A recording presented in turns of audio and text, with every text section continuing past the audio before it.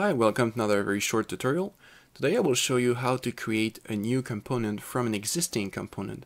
Unfortunately, Google SketchUp is not super intuitive when it comes to um, the function names and there's some bugs in the layout, but I will show you how to quickly, um, whenever you have a component that you've spent time to create and you just need to make a small adjustment and make it into a separate component.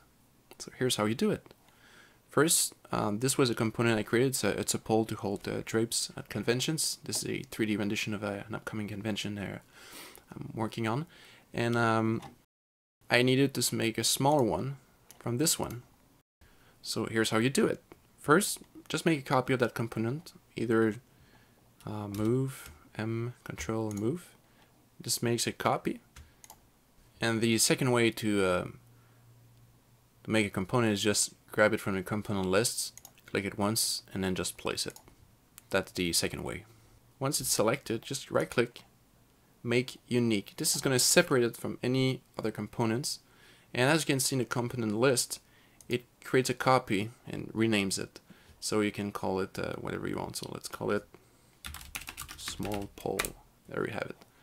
Now all I have to do is to edit this component, double click, and then I'm gonna pull this down a couple of feet. So let's say five feet.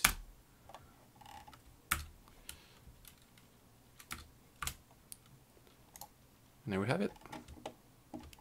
Now I have a smaller one. That's it. It's that simple. As always if you have any questions please drop me a comment. I will reply. And stay tuned for my upcoming tutorials. As always take care and I'll see you soon